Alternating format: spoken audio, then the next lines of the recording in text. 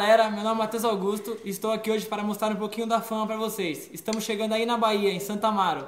Estamos contando com a presença e o apoio de vocês. E com vocês, fama!